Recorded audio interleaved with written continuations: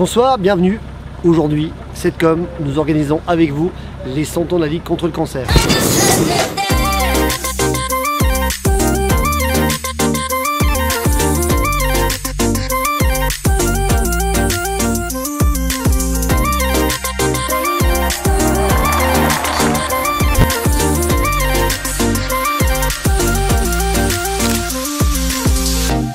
Aujourd'hui, c'était le centième anniversaire de la Ligue contre le cancer. Le mot cancer existe toujours, cependant, euh, s'il existe, euh, le cancer, il est de moins en moins violent. En tout cas, la violence est toujours malgré tout euh, sur les gens qui le reçoivent, cette maladie. Et c'est pour ça qu'il faut continuer. L'aide d'aujourd'hui, c'est ce qu'on fait aujourd'hui dans la médecine, sur le terrain de l'action. C'est parce qu'on a été aidé hier. Et si on veut être toujours dans l'action demain, il faut qu'on soit encore aidé aujourd'hui.